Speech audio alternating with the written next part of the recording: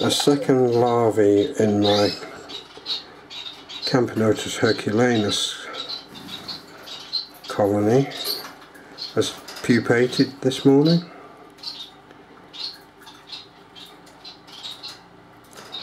So the brood is developing quite nicely. Sad that we lost one of the workers, but if the brood's developing well, it more than makes up for it.